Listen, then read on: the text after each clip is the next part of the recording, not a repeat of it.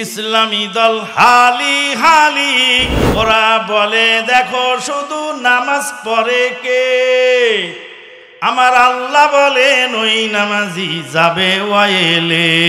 ওহির দাওয়াত নিয়ে ঘুরি দারে দারে। আল্লাযীনা ইয়াস্তামিউনাল কওল, ফায়াত্তাবিউনা আহসানাহু।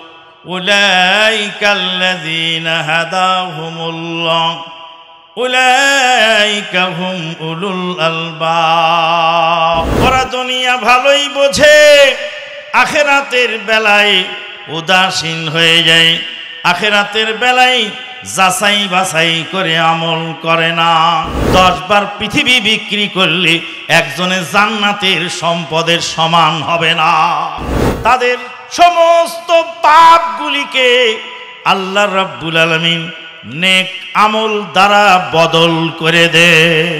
যত বড় পাপ করেছ, নিরাশ হয় না। আল্লাহর কাছে তবা করো। আল্লাহ রাব্বুল আলমিন সমস্ত পাপ ক্ষমা করার জন্য প্রস্তুত। আহলেদিস আন্দোলন বাংলাদেশ। আসুন পবিত্র কুরআন ও সহি হাদিসের আলোকে জীবন গড়ি। بعد أعوذ بالله من الشيطان الرجيم. فبشر عباد الذين يستمعون القول فيتبعون أحسنه. أولئك الذين هداهم الله وأولئك هم أولو الألباب. وقال النبي الأمين صلى الله عليه وسلم من عمل عملا ليس عليه امرنا فهو رد رواه মুসলিম যাবতীয় প্রশংসা সেই মহান আল্লাহ পাকের জন্য যার অশেষ মেহরবানিতে বাংলাদেশ আহলাদিস যুব সংঘ নওগাঁ সাংগঠনিক জেলা উদ্যোগে আয়োজিত আজকের এই মহতি অনুষ্ঠানে যোগদান করার সুযোগ পেয়েছি। জাল্লাপাক তৌফিক দিলেন, তারই বারগাহে শুক্রিয়া, আলহামদুলিল্লাহ। দরুদ সালাম বর্ষিত হোক, নবী মোহাম্মদুর রসুল্লাহ সাল্লাল্লাহু আলাইহি ওয়াসাল্লামের প্রতি, যার রেখে যাওয়া আমানত হেফাজতের জন্যই আজকে আমাদের এই ক্ষুদ্র প্রয়াস। মহতারাম সভাপতি, মাননীয় পরিচালক, উপস্থিত ওলামায় কেরাম ও সুধি মণ্ডলী দূর দূরান্ত থেকে আগত, সমাগত, ভক্তিভাজন মুরব্বিয়ান, সমবয়সী বন্ধুবর্গ পর্দার অন্তরালে অদূরে সুদূরে শ্রদ্ধাস্পদিনী সিনাশিস মা ও ভগ্নিগণ আপনারা এতক্ষণ যাবৎ বিভিন্ন বিষয়ের উপরে বিভিন্ন আলোচকদের আলোচনা শুনেছেন। আমি এখন শেষ পর্যায়ে অল্প টাইমে পাঁচ মিশালি কিছু আলোচনা করব ইনশা আল্লাহ। আল্লাহ পাক বলছেন أعوذ بالله من الشيطان الرجيم فبشر عباد الذين يستمعون القول فيتبعون أحسنه أولئك الذين هداهم الله وأولئك هم أولو الألباب আল্লাহ পাক বলছেন হে নবী আপনি আমার বান্দাদেরকে শুভ সংবাদ দিয়ে দিন আল্লাহ পাক তার নবীকে দায়িত্ব দিলেন আল্লাহর বান্দাকে শুভ সংবাদ দেওয়ার জন্য। এই শুভ সংবাদ কারা পাবেন?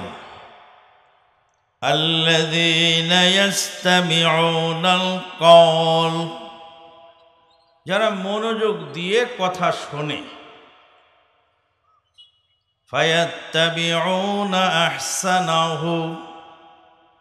তার ভিতরে ভালোটা গ্রহণ করে। ভালোটা যখন গ্রহণ করে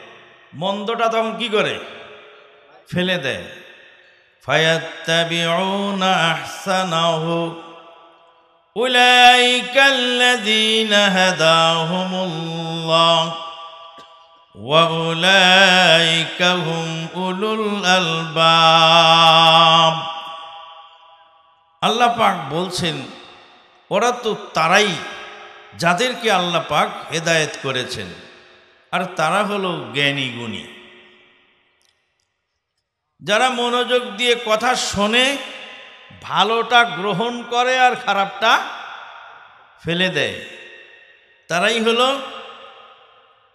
জ্ঞানী গুণী এবং তারাই হলো হেদায়েত প্রাপ্ত তাইলে যাচাই বাছাই করে আমল করতে হবে, এটাই হলো আমাদের বক্তব্য। দিনাজপুরের এক ছেলে দুঃখ করে বলছে যে কবরে মাটি দেওয়ার সময় এক চাচা বলছে, মিনহা খালাক না কম ওফিহা অমিনহা ওমিনহা নুখরিজুকুম তারা তান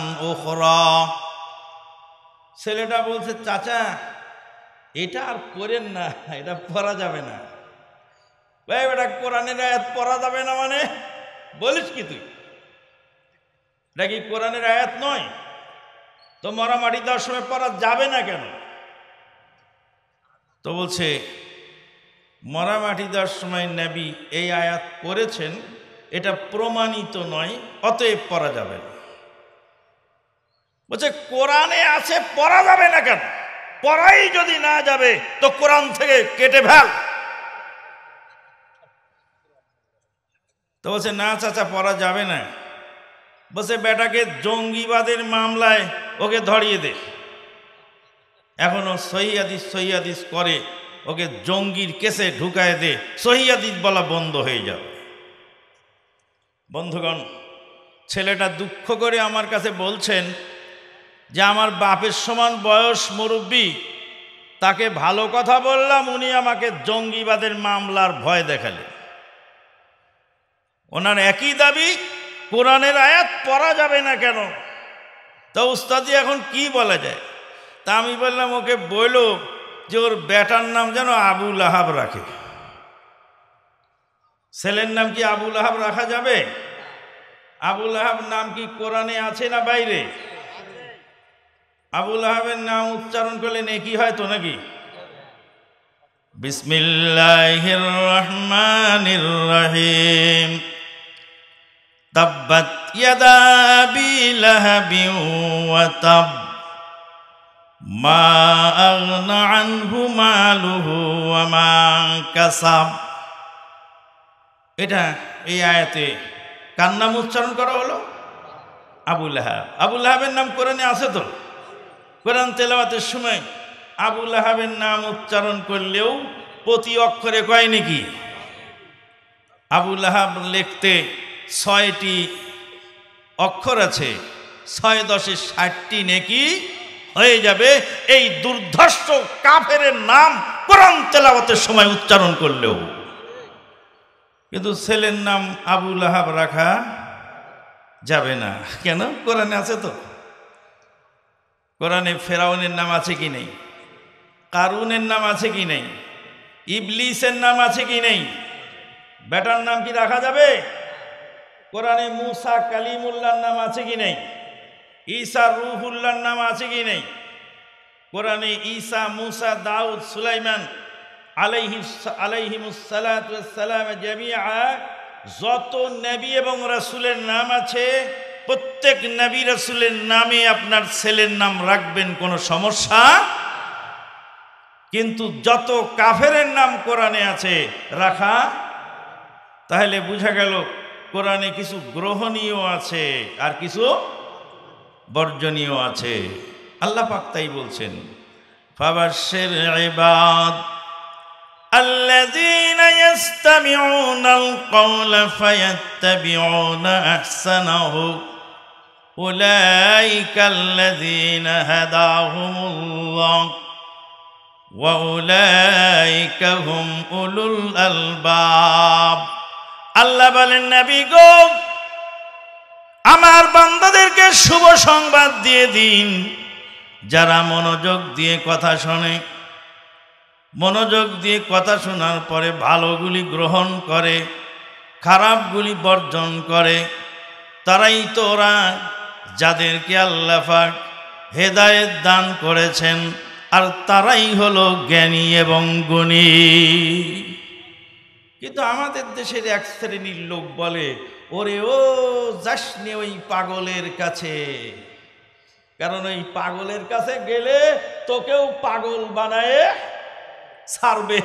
কারণ ওদের ওয়াজ শুনলেই সাথে সাথেই তাদের ওয়াজের দ্বারা তারা প্রভাবিত হয়ে যাবে। কোন দিকে যাই পরে আছি?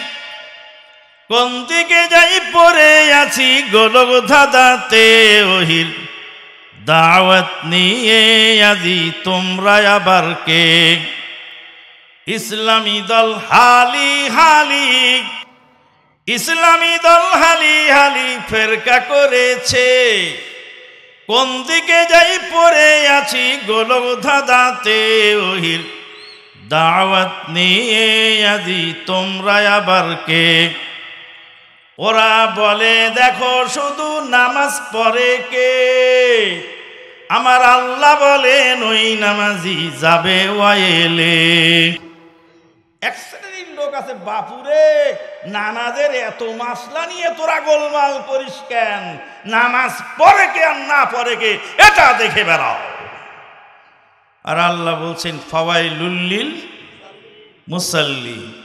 ওরা বলে খুঁটি নাটি ছেড়ে তোরা ঐক্য হতে আয়। তোমার দাবি ওহির বিধান মানবে না, তাই খুঁটি নাটি কয়।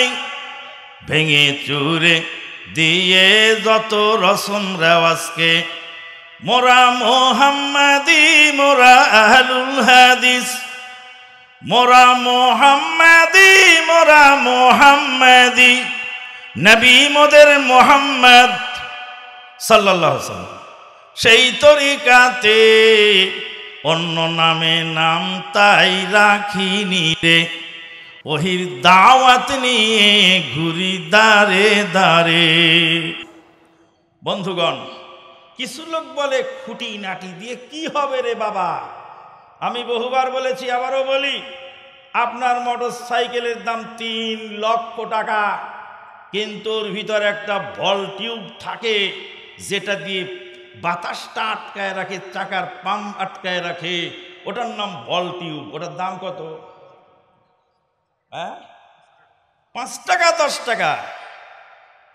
তিন লক্ষ টাকার মোটর সাইকেল যদি দশ টাকা দামের ফল টিউব ছাড়া চলার অযোগ্য হয়ে যায়। হাসরের ময়দানে আল্লাহ যদি বলেন, বান্দা, তোমার দুনিয়ার ভল টিউব ছাড়া তিন লক্ষ টাকার মোটর সাইকেল চলে নাই, বন্ধ হয়ে গেছে, ঠেলে নিয়ে মেকারের কাছে যেতে হয়েছিল। আমার এবাদত সুন্নত নফল খুঁটিনাটি বলার অধিকার তোমাকে কে দিল? বন্ধুগণ আমরা তাই বলছি যে আপনার আমলটা যাচাই করে নেন বাছাই করে নেন কোরআন সুন্না ভিত্তিক আমল গড়ার চেষ্টা করুন ফাবাশের ইবাদ الذين يستمعون القول فيتبعون احسنه اولئك الذين هداهم الله أولئك هم أولو الألباب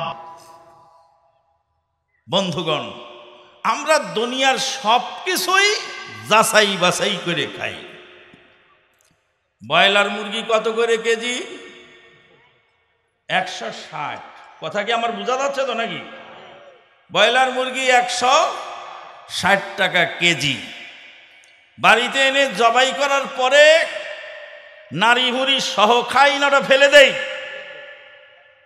নারী ভুড়িটাও একশো ষাট টাকা কেজি ওজনে আনা হয়েছে।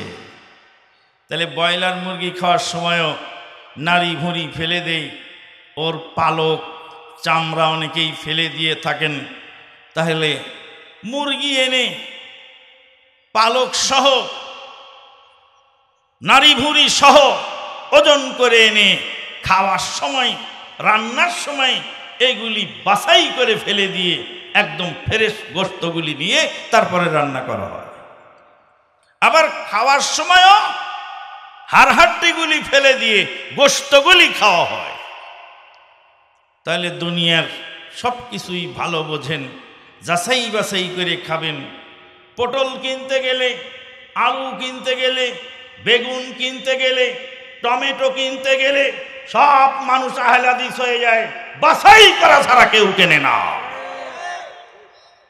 টমেটোর দোকানে আহলাদিস, আলুর দোকানে আহলাদিস, পটলের দোকানে আহলে হাদিস বাছাই করে নরমটা নেয় না। শক্তটা গ্রহণ করে। তো ইসলাম মানার সময় জাল জয়ীফ হাদিস, নরম হাদিস। তারপরে দুর্বল কথা সেইগুলি গ্রহণ করেন, তখন আর বাছাই করা লাগে না। আল্লাহ রাব্বুল আলামিন বলেন, ইয়ালামুনা যাহিরাম মিনাল হায়াতিদ দুনিয়া, ওয়া হুম আনিল আখিরাতিহুম গাফিলুন। আল্লাহ রাব্বুল আলামিন বলেন, ওরা দুনিয়ার জীবনের সব কিছুই ভালো বোঝে কিন্তু আখেরাত সম্পর্কে উদাসীন হয়ে যায়। দুনিয়ার বড় হুজুর, বিরাট বড় পাগড়িওয়ালা হুজুর, টাকা দিলেন পাঁচশো টাকার নোট, এক হাজার টাকার নোট। সেই নোটটা হুজুর সাহেবের নোট, ইমাম সাহেবের নোট, মুফতি সাহেবের নোট। সেই নোটটা মুফতি সাহেবের বলে চোখ বন্ধ করে নেয় না। টাকাটা ভালো করে হাত দিয়ে ডলাডলি করে। আবার সূর্যের আলোতে ভালো করে দেখে। নিজে যদি বুঝতে না পারে, বলে, সেলিম ভাই, দেখো তো টাকাটা ঠিক আছে কি না আরে, হুজুর মানুষ কি তোমাকে জাল নোট দেবে নাকি? নিয়ে পকেটে রেখে দাও। হুজুর মানুষ, জাল নোট আমাকে দেবেন না। কথা তো ঠিক আছে, কিন্তু তিনি একজন নিরীহ মানুষ। সাদা সিধা লোক, তাকেও তো কেউ ভুল করে জাল নোট দিতেও পারে। আমরা তো ওয়াজ করে টাকা গুনেও নেই না, দেখেও নেই। পরে এনে কত যে জাল নোট বের হয়। আল্লাহ জাল নোট দেখা যায়, হুজুর সাহেব টাকা দেখে নিচ্ছে না, অতএব জাল নোট এর ভিতরে চালায় দাও। সিরা নোট চালায় দাও। এটা সরলতার সুযোগ। ইমাম সাহেবের জমি জায়গা কেনার সময় বড় মসজিদের বড় ইমাম, বড় মাদ্রাসার বড় মুফতি একশো টাক জায়গা বিক্রি করবেন, আপনি সেই জায়গাটা খরিদ করবেন, আপনি জায়গাটার কাগজ যাচাই করে দেখছেন বড় মুফতির জায়গা, প্রেসিডেন্টের জায়গা, চেয়ারম্যানের জায়গা, মেম্বারের জায়গা, প্রধানমন্ত্রীর জায়গা, এমপি সাহেবের জায়গা, জমিদারের জায়গা, দেখবে আবার কি? জাগার দাম এক কোটি টাকা, কিন্তু দলিল হলো সেরা কাগজ পরসা। জমিনের দাম এক কোটি টাকা কিন্তু পরসাটা ছিঁড়ে গেছে। অনেক জায়গায় জমি দেখা যায়, পর্সার উপরে টেপ মারা আছে।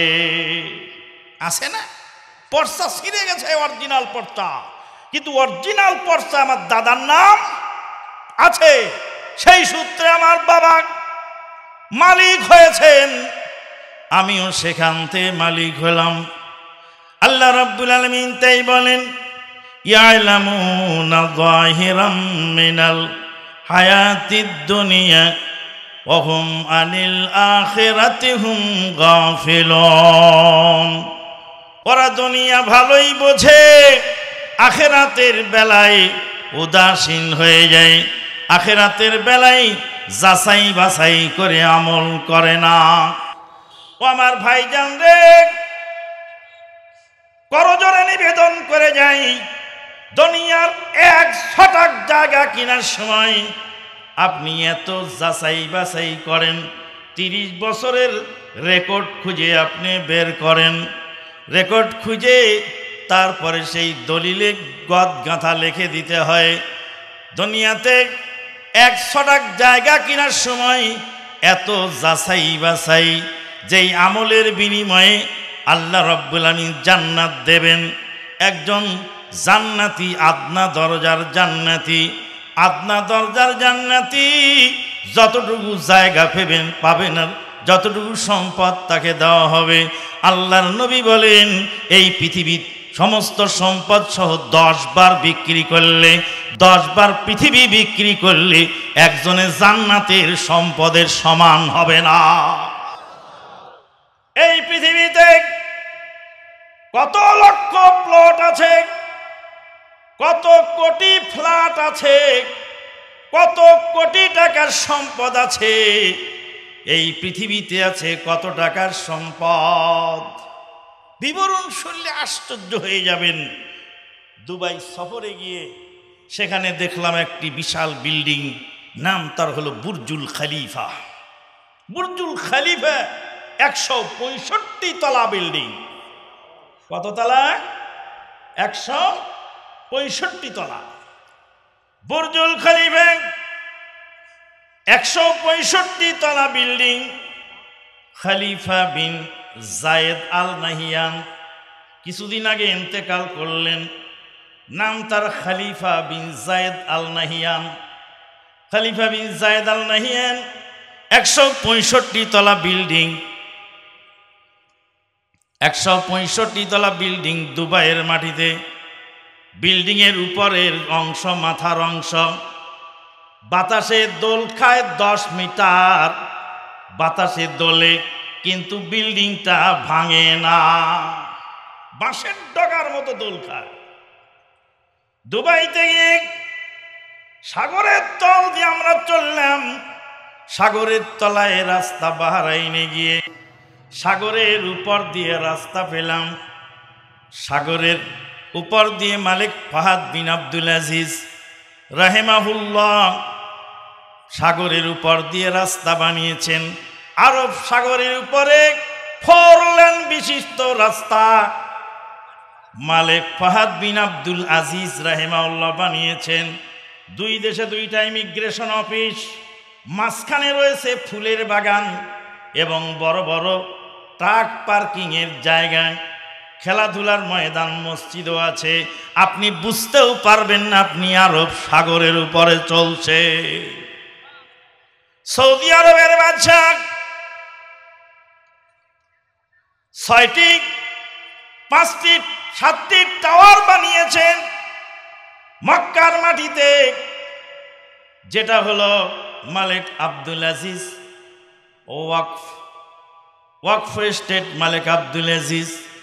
সাতটি টাওয়ার বানিয়েছেন, ছয়টি হলো বাহাত্তর তলা উঁচু, আর একটা হলো একশো দশ তলা। ওর উপরে ঘড়ি আছে, ঘড়িটার ওজন ছত্রিশ টন। ওই যে বিল্ডিং এর উপরে ঘড়ি, ওই ঘড়িটার ওজন হলো ছত্রিশ টন। ঘড়িটার কাঁটাগুলি ছয় টন ওজনের, পনেরো কিলোমিটার, বিশ কিলোমিটার দূর থেকে রাতের বেলায় দেখা যায় এখন সময় কত? বলছিলাম পৃথিবীতে কত সম্পদ, কত প্লট আর কত ফ্ল্যাট সাগরের বুকে কত লক্ষ লক্ষ বেরেল তেল রয়েছে, মানুষ হিসাব করে কুল পাবে না। বাহারাইনে যখন ছিলাম, বাহারাইনে, দুই টার্মে ছিলাম আমি। বাহরাইনে হাফিরা এলাকার নাম সেখানে একটি কোম্পানি আছে ব্রামকো কোম্পানি। সেই ব্রামকো কোম্পানির মসজিদ আমি জুমার খোদবা দিতে যেতাম। জুমার খোদবা দিতে গিয়ে দেখছি যে মরুভূমির মধ্যে পাইপ দিয়ে পানি প্রবাহিত হচ্ছে। ইঞ্জিনিয়ার শাহজাহান ভাইকে জিজ্ঞেস করলাম, এই পানি থেকে আসে মরুভূমির ভিতর থেকে? ইঞ্জিনিয়ার শাহজাহান ভাই তিনি হলেন গালফ পেট্রোকেমিক্যাল ইন্ডাস্ট্রিজ লিমিটেডের পেট্রোলিয়াম ইঞ্জিনিয়ার বাড়ি নোয়াখালী। তিনি বললেন মুসকিন নামান ভাই, এগুলি পানি নয়, এগুলি হলো আল্লাহর দেওয়ার সম্পদ তেল। লক্ষ লক্ষ ব্যারেল তেল আরব সাগর থেকে দেলি উত্তোলন করা হয়। কত সম্পদ পৃথিবীতে! আল্লাহ নবী বলছেন, পৃথিবীর সমস্ত সম্পদ দশ বার বিক্রি করলে একজন আদনা দরজার জান্নাতির সমান হবে না। তুমি একশো টাকা জায়গা কেনার সময় এতবার দলিল উল্টায় দেখো, আর এই জান্নাত খরিদ করবা যে আমল দিয়ে, সেই আমল রসুলের তরিকায় হলো কিনা সেটা আর জিজ্ঞাসা করা লাগল না। কেমন মুসলমান তোরা? পড়লি না কোরআন। আদেশ নিষেধ কি করেছেন দয়াল রহমান? পাক সুবহান। আমি চাইছিলাম যে আজকে জাগরণী মাগরণী গাবো না। যে আমাকে কানে কানে আগেই বলেছে, তুই একটা জাগরণীও গায়েন কেমন মুসলমান তোরা, পড়লি না কোরআন? আদেশ নিষেধ কি করেছেন দয়াল রহমান? পাক সুবহান। পঞ্জে গানা পড়লি সালাত, খিয়াল করলি না। রসুলের তরিকায় তাহা হলো কি না? তর্ক বাহাস করলি কত, ইসলাহ করলি না? ইমানের করো দাবি, কেমন মুসলমান তোরা পড়লি না কোরআন? কোরআন কি এখন আমরা পড়ি? পড়ি না। যে যেই তরিকার, যেই যেই দলের, সেই দলের মুরব্বীদের অজিফার কেতাব ছাড়া তাদের কাছে আর অন্য কিছু তেমন পাওয়া যায় না আর আমরা কি বলছি এত্তাবিউ আল্লাহর নির্দেশ এত্তাবিউ মা উনজিলা ইলাইকুম মির রাব্বিকুম ওয়ালা তাত্তাবিউ মিন দুনিহি আউলিয়া قليلا ما تذكرون কথা কি বোঝা যায় বুঝতে যদি সমস্যা হয়, তাহলে লিখিত প্রশ্ন সভাপতি বরাবর জমা করবেন। সময় হলে, সুযোগ হলে আমরা উত্তর দেওয়ার চেষ্টা করব ইনশা আল্লাহ। আপনাদের উত্তর না দিয়ে আমরা এই স্টেজ ত্যাগ করব না আশা করি। যদি সময় এবং সুযোগ হয়। বন্ধুগণ, আমরা তো এটাই বলছি, আল্লাহ পাকের ওই নির্দেশ। আল্লাহ রব্বুল আলমিন বলছেন, যারা মনোযোগ দিয়ে কথা শোনে, কথা শুনে ভালোটা গ্রহণ করে, আর খারাপটা বর্জন করে।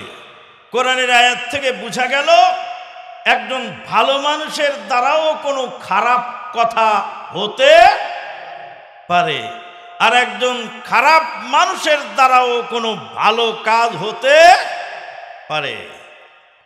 একজন খারাপ মানুষ, সেও কোনো সময় ভালো কাজ করতে পারে। আমাকে একবার ডাকাত ধরেছিল। ডাকাত ধরে আমার জ্যাকেটটা খুলে নিল গা থেকে, তারপরে ঘড়িও খুলে নিল, মোবাইলও পকেটতে তুলে নিল, টাকাগুলিও নিয়ে নিল। ঘড়ি হাতে দিয়ে কতক্ষণ পরে নেড়ে চেড়ে বলল, আপনার ঘড়ি আমার হাতে মানায় না, ফেরত নেন। মোবাইলটা বের করে বলছে, মোবাইল আপনার খুব জরুরি জিনিস, এটা আপনারটা আপনি নিয়ে নেন। জ্যাকেটটা গা থেকে খুলে দিয়ে বলল, শীতের রাত আপনি কষ্ট পাবেন, জ্যাকেটটাও আপনি নিয়ে যান। পকেট থেকে টাকা গুনে পেল হলো সাড়ে ছয় হাজার টাকা। ছয় হাজার পকেটে নিল আর পাঁচশো টাকা আমাকে দিয়ে বলে, এটা আপনার গাড়ির ভাড়া। তাইলে ডাকাত হলেও কিছু বুদ্ধি শুদ্ধি আছে। বলবেন, এটা তো গল্প বলছেন। তো গল্পই তো আল্লাহ বলতে বলেছেন। আল্লাহ বলছেন, ফাকসুসিল কাসাফা সত্য সত্য গল্পগুলি শোনাও। ইয়াতাযাক্কারুন, যাতে তারা নসিহত গ্রহণ করে। তাহলে মাঝে মাঝে একটু গল্প শোনাতে হয়। আল্লাহ পাক কোরআনে একটি সূরা নাদিল করেছেন, সূরাতুল কাসাস। বন্ধুগণ, এবার হাদিস শুনুন। সাল্লাল্লাহু সাল্লাম বলছেন, মা বোনেরা মনোযোগ দিয়ে শুনবেন। একজন দেহ ব্যবসায়ী মহিলা রাস্তা দিয়ে যাচ্ছিলেন, যাওয়ার পথে দেখতে পেলেন একটি কুকুর ছানা পিপাসায় কাতর হয়ে ভিজে মাটি চেটে খাচ্ছে। কোন বর্ণনা আসছে, ভিজা মাটি চাটতেছিল, ইয়াকুলু সারা মিন সিদ্দাতিল আতাস পানির পিপাসায় কুকুর ভিজা মাটি চেটে চেটে খাচ্ছিল। দেহ ব্যবসায়ী মহিলার দেলে দয়া হয়ে গেল। দেহ ব্যবসায়ী মহিলা তার গায়ের উড়নাটা খুলে পায়ের গামবুটের সাথে বেঁধে নামিয়ে দিল কূপের মধ্যে। গামবুট ভর্তি পানি তুলে কুকুর সানাকে পান করিয়ে দিল। এরপরে কিছুক্ষণ পরে মহিলার মৃত্যু হয়ে গেল। মহিলার মৃত্যু হওয়ার পরে মহিলা ফেরেস্তা এসেছে জান্নাতের ফেরেস্তা জাহান্নামের ফেরেস্তা বুখারির হাদিস বলছে। কোথাকার হাদিস? সহি বুখারির হাদিস। জান্নাতের ফেরেস্তা বলছে, আমরা নিয়ে যাব। জাহান্নামের ফেরেস্তা বলছে, আমরা নিয়ে যাব। আল্লাহ পাক তারা এই নে কাবলের ওসিলায় তাকে ক্ষমা করে দিলেন এবং জান্নাত দিয়ে দিলেন। মহিলাটি তওবা করেছিল। এই তওবার বদৌলতে সামান্য একটু নেক আমলে আল্লাহ পাক তাকে জান্নাত দিয়ে দিলেন।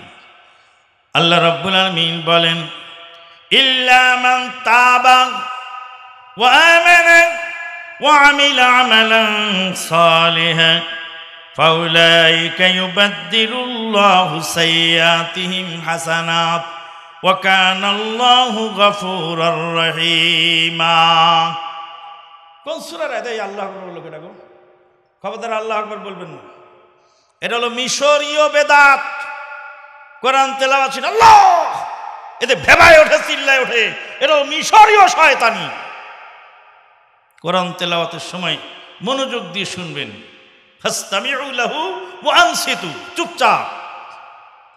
আল্লাহ রাব্বুল আলামিন বলেন, ইল্লা মান তাবা। কিন্তু যারা তবা করল, জীবনে পাপ করেছে।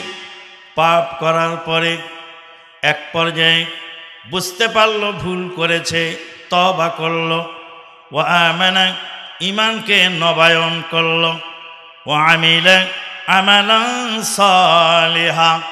আল্লাহ পাক বলেন ও আমিলা আমালান সালিহা। তারপরে নেক আমল করল। আল্লাহ রাব্বুল আলমিন বলেন, ফাউলাইকা ইউবাদদিলুল্লাহু সাইয়্যাতিহিম হাসানাত। ওয়া কানাল্লাহু গফুরুর রহিমা। আল্লাহ বলেন, তাদের সমস্ত পাপগুলিকে আল্লাহ রাব্বুল আলামিন নেক আমল দ্বারা বদল করে দে।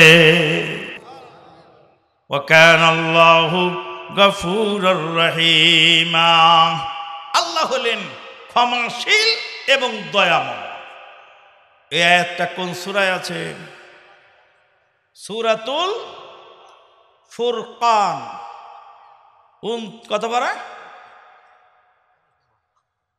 আয়াত নাম্বার কত? কত? সত্তর মার্শাল দেখেন। আয়াত মুখস্থ, নাম্বার সহ। এটাই হলো আহলাদিদের বৈশিষ্ট্য। আহলাদিদের বৈশিষ্ট্য হলো, দলিল মুখস্থ থাকে, নাম্বার সহ। যার ফলে আহলাদিদের সাধারণ জনগণের সাথেও বড় বড় মুফতি মহোদয় পেরে ওঠে না। আল্লাহ রাব্বুল আলামিন বলেন, ইল্লা মান তাবা আমানা ওয়া আমিলা আমালান সালিহা, ফাউলাইকা ইউবাদদিলুল্লাহু সাইয়্যাতিহিম হাসানাত। আল্লাহ বলে, বান্দারে জীবনে যত পাপ করেছ قل يا عبادي الذين أسرفوا على أنفسهم لا تقنطوا من رحمة الله إن الله يغفر الذنوب جميعا যত বড় পাপ করেছ নিরাশ হয়েও না আল্লাহর কাছে তবা করো আল্লাহ রব্বুল আলমিন সমস্ত পাপ ক্ষমা করার জন্য প্রস্তুত আল্লাহ পাক ক্ষমা করে দেবেন এই জন্য যারা ভুল করেছেন, যারা সেরেক বেদাত করেছেন, যারা পিতামাতার সঙ্গে খারাপ ব্যবহার করেছেন, যারা নেশা খেয়েছেন, যারা হারাম খেয়েছেন, পাপ ছেড়ে দিয়ে তবা করলে বিগত দিনে সমস্ত পাপ নেকি হয়ে যাবে। সত্তর বছর যাবৎ নেশা টেনেছ তবা করে আল্লাহর কাছে যদি ক্ষমা চাও আল্লাহ যদি ক্ষমা করেন, তাহলে বিগত দিনের সমস্ত পাপগুলি নেকি দ্বারা বদল হয়ে যায়। সুরায় ফুরকানটা পড়েন, আল্লাহ পাক বলছেন, ফাউলাইকা ইউবাদদিলুল্লাহু সাইয়্যাতিহিম হাসানাত। তাদের পাপগুলিকে আল্লাহ নেকি দ্বারা বদল করে দেন। এই জন্য তবা করতে হবে। নিজের জীবনের ভুলগুলি যা আছে সেইগুলি ঝেড়ে ফেলে। কোরআন শূন্য ভিত্তিক জীবন গড়ার জন্য চেষ্টা করতে হবে। লাইফ স্টাইল চেঞ্জ করে ফেলতে হবে।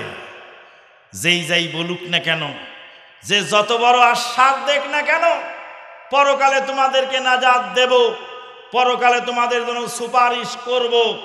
পৃথিবীর কোনো মানুষ কারও জন্য সেদিন কিছু করতে পারবেন বোখারির হাদিস রাসুল্লাহ সাল্লাহ সাল্লাম বলেছেন হাসরের ময়দানে সমস্ত হাসরবাসীরা আদম আলাইসাল্লামের কাছে যাবেন। আল্লাহর কাছে গিয়ে বলুন, বিচার কার্যটা শুরু হয়ে যা আদম আলাইসাল্লাম বলবেন, আমি পারব? না। আমি আল্লাহর নাফরমানি করেছিলাম জান্নাতের মধ্যে। আল্লাহ আমাকে নিষিদ্ধ গাছের কাছে যেতে মানা করেছিলেন। আমি সেখানে গেছিলাম। আজকের দিনে আল্লাহ রাগান্বিত। আল্লাহর সামনে যাওয়ার ক্ষমতা আমার নেই। এখান থেকে কি বুঝা গেল? সমস্ত হাসরবাসীরা সিদ্ধান্ত নিল, আদম আলাইসাল্লামের কাছে গেলে উপকার হতে পারে।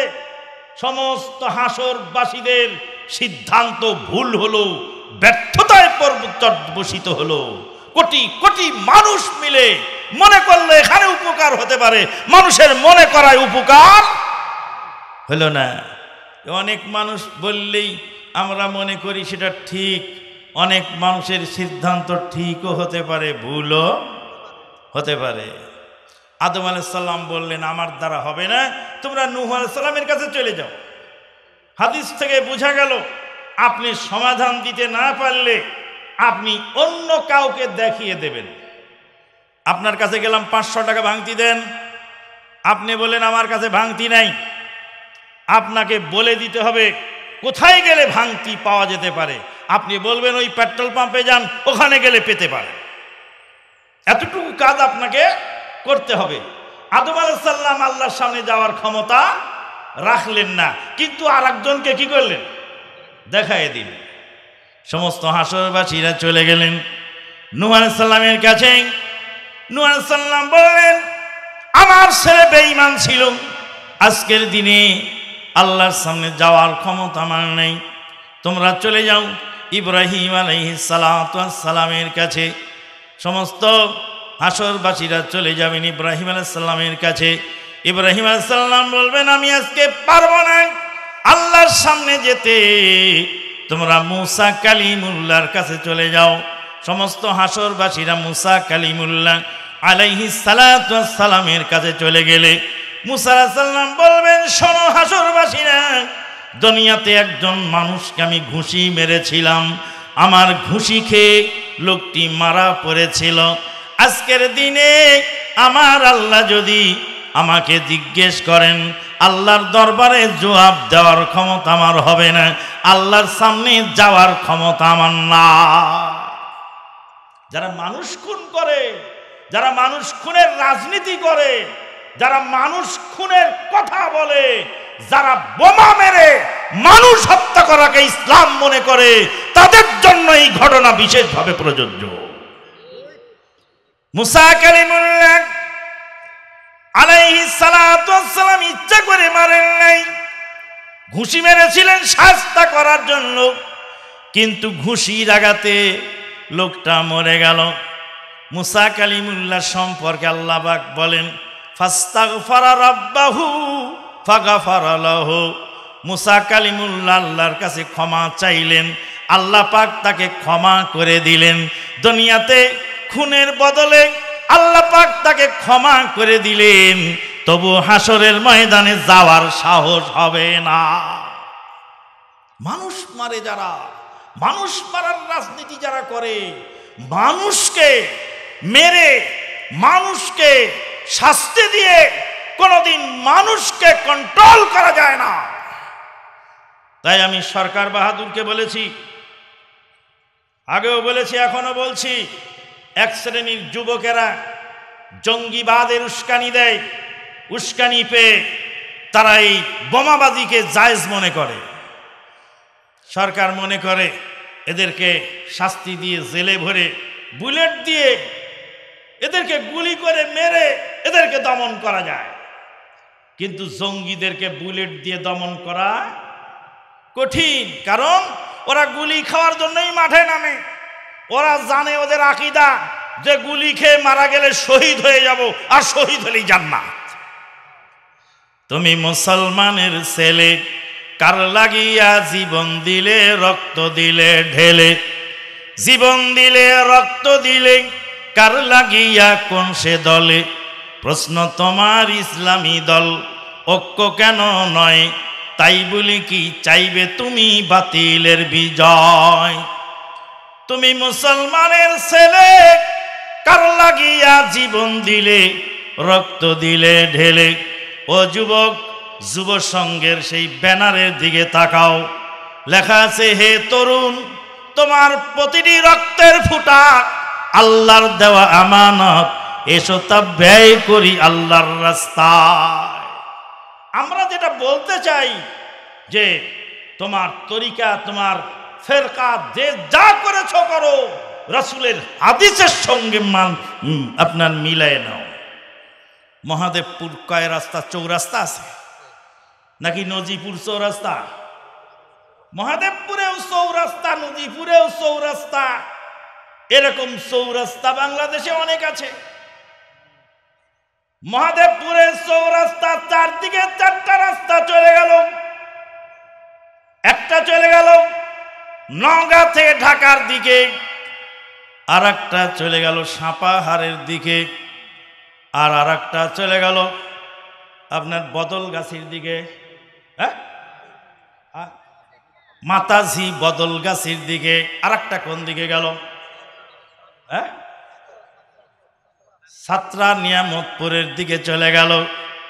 চারজন ঢাকার যাত্রী চার রাস্তার মাথায় গাঁটটি বুকসা নিয়ে দাঁড়িয়ে আছে। চারজনই ঢাকায় যাবে। একজন আগন্তক এসে জিজ্ঞেস করলেন, আপনারা কোথায় যাবেন? কে কোথায় যাবেন? বলে, আমরা তো চারজনই ঢাকায় যাব। চারজন ঢাকায় যাবে। তাহলে চার রাস্তার মাথায় চারজন কেন? হ্যাঁ সাতরা নিয়ামতপুরের রাস্তার মাথায় একদল আর আর এক দল মাতাজি বদল গাছির দিকে আর এক দল সাপাহারের রাস্তায় আর এক দল আপনার নহাটা হয়ে নগা নগা হয়ে ঢাকার রাস্তায়। বলে চারদিকে ঢাকা, যেদিকেই যাও সেই দিক দিয়েই ঢাকা যাওয়া সম্ভব। আর একজন এসে বলতে ভাই রে, যেই লোক এই নওগাঁর দিকে গেল, সে লোক তো ঢাকার দিকে গেল, আর যে লোক অপোজিট দিকে গেল, সে তো ঢাকা থেকে দূরে চলে গেল। চারটা ঢাকার রাস্তা হয়, বিপরীতমুখী বিপরীতমুখী, দুইটা জিনিস কখনো সত্য হয় না। একটা ঠিক হবে বাকিটা বেঠিক। একটা ঠিক হবে বিপরীতমুখী। কথাটা ভালো করে বুঝবেন। বিপরীতমুখী চারটা জিনিস কখনো ঠিক হতে পারে না, একটা হবে ইসলাম জ্যামিতিক এবং ইসলাম গাণিতিক। ইসলাম জ্যামিতিক, জ্যামিতির সূত্র হলো এক বিন্দু থেকে আর বিন্দুতে সরল রেখা একটি হয় একাধিক সরল রেখা এক বিন্দু থেকে আর এক বিন্দুতে হবে। না, হয় চারটাই বক্র হবে, না একটা সরল হবে বাকি সবগুলি বক্র হবে। এটা হলো জ্যামিতির সূত্র। দনিয়া একটা বিন্দু, জান্নাত আর এক বিন্দু। দনিয়া বিন্দু থেকে জান্নাত বিন্দুতে যেতে হলে আপনাকে যেই রাস্তা দিয়ে যেতে হবে, সেটার নাম হলো সরল রেখা, আর তার আরবির নাম হলো সেরাতুল মুস্তাকি আল্লাহ নবী সাল্লাহ সাল্লাম জ্যামিতি আঁকায় সাহাবাই কেরামদেরকে দেখালেন। আল্লাহ নবী রাস্তার মধ্যে দাগ টানলেন। দাগ টানার পরে একটি বিশাল লম্বা দাগ টানলেন। ডান বামে অনেকগুলি দাগ টানলেন। লম্বা দাগের সামনে ইশারা দিয়ে বললেন ওয়ান্নাহাদা সেরাতি মুস্তাকিমা। এটাই হলো আমার সরল পথ, এটাই হলো আমার সোজা পথ। ফাত্তাবিউহু, এই পথের অনুসরণ করো। ওয়ালা তাত্তাবিউ সবল, ডানে বামের অন্য পথকে তোমরা অনুসরণ করো না। একটা পথ অনুসরণ করো। এটা হলো ইসলাম জ্যামিতিক আর ইসলাম জ্ঞানীতিক। সেটা হলো, ভোলানাথ লিখেছিল তিন সাড়ে নব্বই গণিতের মার্কায় কাটা গেল সর্বই। তিন সাড়ে বারো হয়, মাস্টার তারে কয়, লেখেছিল ঢের বেশি এই তার গর্বই তিন সাড়ে কত? তিন দিয়ে চার দিয়ে গুণন করলে কত হয়? মহাদেবপুরে তিনকে চার দিয়ে গুণন করলে বারো হবে। রাজশাহী গেলেও বারোই থাকবে। ঢাকায় গেলে বারোই থাকবে, জাপানে গেলে বারোই থাকবে, অস্ট্রেলিয়ায় গেলে তিনকে চার দিয়ে গুণন করলে বারোই থাকবে।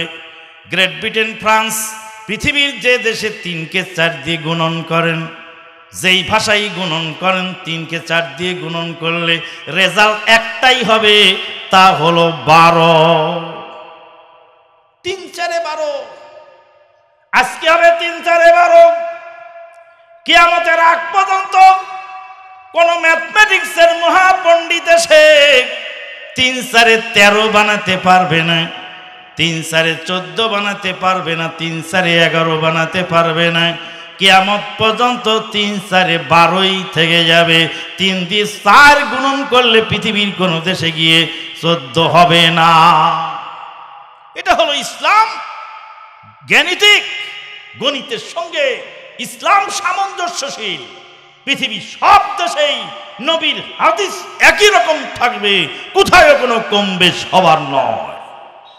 বন্ধুগণ, আজকে আমরা এইগুলিকে উলট পালট করে জাতিকে কত রকম বুঝাবার চেষ্টা করছি, আর কত রকমের বিভ্রান্ত করার চেষ্টা করছি, সেই বিভ্রান্তির গোলকধাঁধা থেকে জাতিকে মুক্ত করার জন্যই আমাদের এই ক্ষুদ্র প্রয়াস আমাদেরকে ভুল বুঝলে বুঝতে পারেন, কিন্তু বিবেকের কাছে আবেদন রেখে গেলাম।